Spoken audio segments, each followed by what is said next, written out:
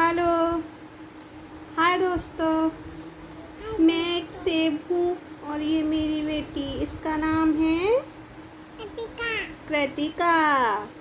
और हम दोनों आपको एक कहानी सुनाएँगे। एक जंगल में शेर था। एक चूहा था। उसको पकड़ लिया। उस उस चूहे को शेर ने पकड़ लिया मैं तुम्हारे ऊपर कूदूँगा चूहा बोला मैं शेर के ऊपर खेलूँगा।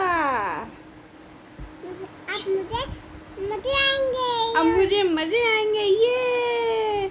मैं बहुत मस्ती करूँगा। शेर ऊपर। शेर सो रहा था और वो जग गया। और वो तो क्या? उसने चूहे को